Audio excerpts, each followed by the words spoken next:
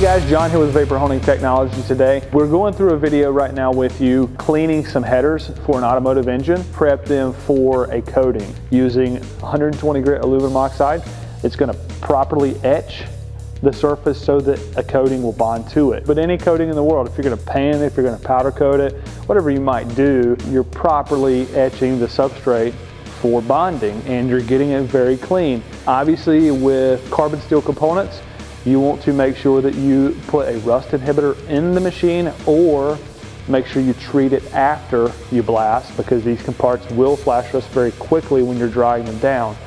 Flash rust inhibitors do not inhibit the adhesion of a coating. They're specifically designed for that as long as you buy the proper rust inhibitor and we can inform you and help you with that. Again, we were pushing the limits of the machine. You could just really see how difficult it could be if you have a large piece in there trying to maneuver it and move it around. Obviously you have to pull it out and put it back in. But again, just pushing the limits for you, showing what its capabilities are. Hope you guys like what you saw today.